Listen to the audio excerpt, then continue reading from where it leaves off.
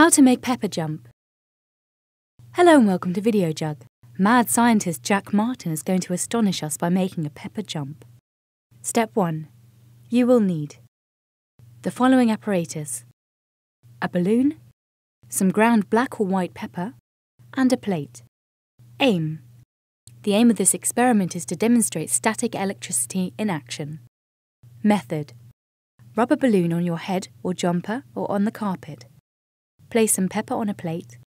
Lower the balloon towards the plate of pepper and watch the flecks of pepper jump up onto the balloon. Conclusion Why did this happen? We demonstrated static electricity. When the balloon was rubbed against the hair, it picked up a few extra electrons. These are small negatively charged particles that form part of an atom. Since the balloon was made of rubber which doesn't conduct electricity, the electrons sat on the surface of the balloon or remained static. This gave the balloon a negative charge.